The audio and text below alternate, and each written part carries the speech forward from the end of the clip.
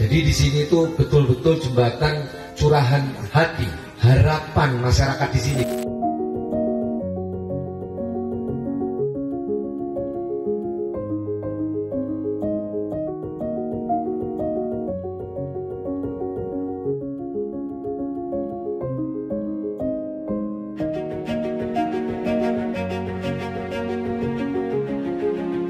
Bulan Januari ya, masih belum jadi saya lihat. Dan hari ini sudah jadi bagus indah seperti kayak begini. Saya aja ngelihatnya cukup terharu. Bagus sekali.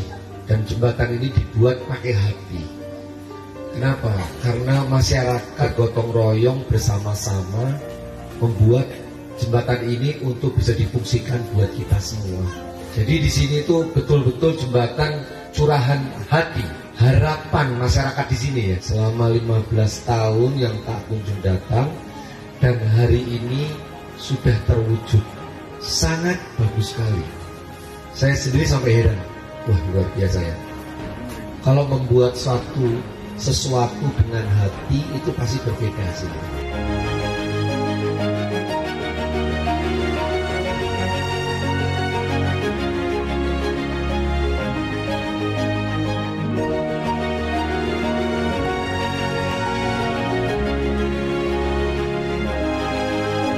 Jangan lupa subscribe, like, dan komen.